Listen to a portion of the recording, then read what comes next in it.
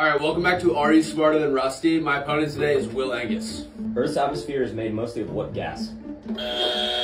Nitrogen.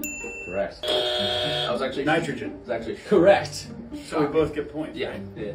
Who was the first president of the United States to be assassinated? Abraham Lincoln. Correct. Every year, Auburn plays the University of Alabama in football. What is the name of this game? The Iron Bowl. Correct. Well, you're going for the buzzer so early. What singer has the most Grammy nominations? Celine Dion. Kanye? There's no way. Whitney Houston. Adele. Lana Del Rey.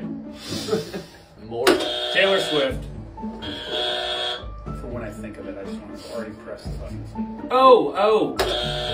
Beyonce. Correct. What is the capital of Argentina?